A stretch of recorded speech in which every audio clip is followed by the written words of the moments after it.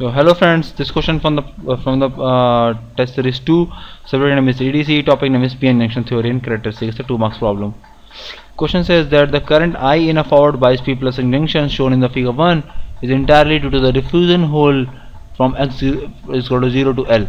Okay, so diffusion current, the diffusion hole current, the injected hole concentration distribution is in the region N is a linear as shown in the figure 2 and the rho 0 is 10 raised to power 12 per cc the value of rho 0 is given to us 10 raised to power 12 per cc centimeter cube.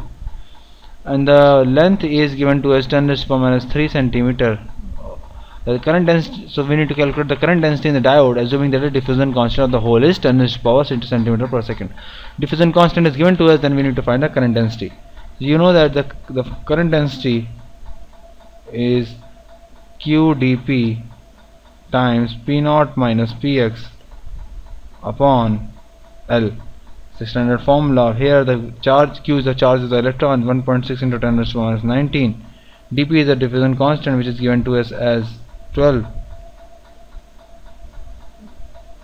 and uh, rho naught is given to us as a 10 raised to minus 3 at uh, 10 raised to power 12 and rho, rho x is 0 okay so 3 centimeter square upon the length is given to us 10 raised to minus 3 okay.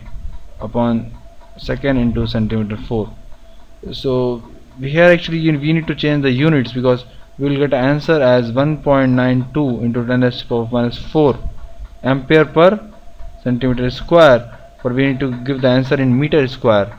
As uh, question demands the answer in meter square so I need to change it and I need to multiply it 8 ampere upon 1 upon 100 meter and 1 upon 100 meter. I need to use the both change the both unit.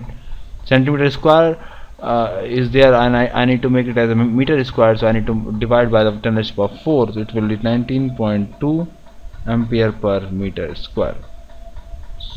So my current density will be 19.2 ampere per meter square. That will my answer thank you